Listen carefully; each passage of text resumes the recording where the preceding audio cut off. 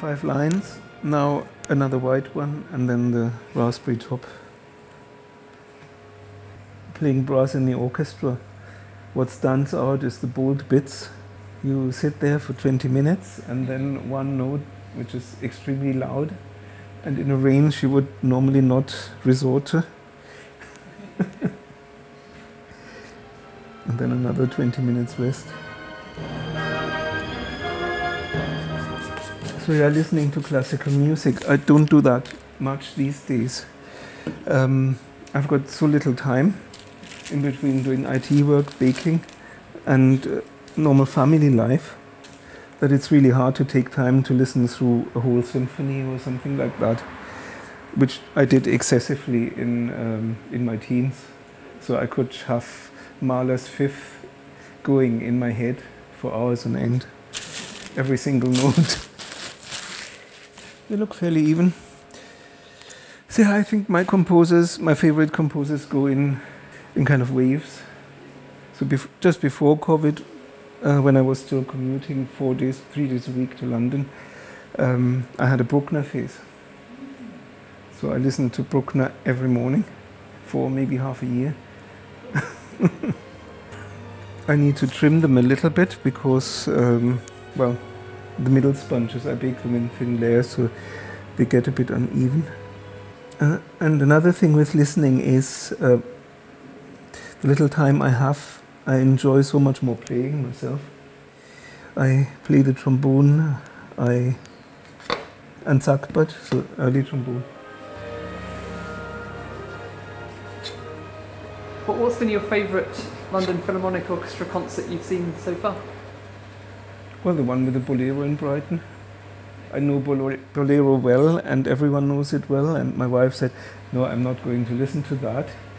But then we really all were riveted, and there was no, not a single note in the whole bolero that uh, let the tension go. It was building and building and building, um, and I think that was very special to to keep the momentum going over the whole piece.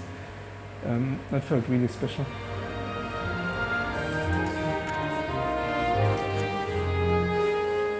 So, what sort of music do you like to play on trombone? Oh, all sorts. Um, for a few years now, I'm trying to get into jazz, and I'm getting better at it. Um, so I'm playing in the local community big band called the Sussex Jazz Orchestra. The leader is a trombonist, Mark Bussey, and he is one of the nicest people you can imagine and an excellent teacher. And you can't get by without playing solo. You he puts you on the spot. If you don't want to, he puts you on the spot in a concert and it's okay. It's always okay. I love to play early music. And the music I probably most enjoy of the early music is so yeah the turn of the century 1500 um, where there's still a lot of open fifths that just gets me. But also early baroque or mozart. I, the time i performed a lot i really enjoyed mozart gigs. Like um, c minor mass and requiem. Excellent second trombone part in Mozart Requiem. It is. It is. I I enjoyed that a couple of times. Don't tell the singers that it's actually written for trombone. So the trombone is the, Yes.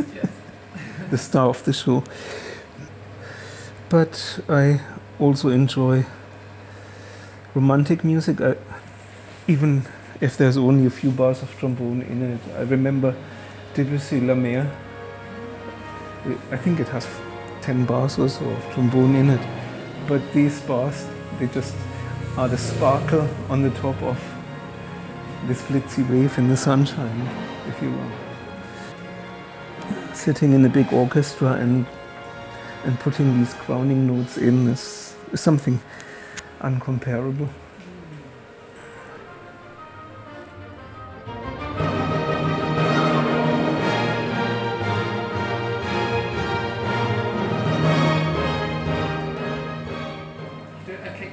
For the 91st, yes, of course.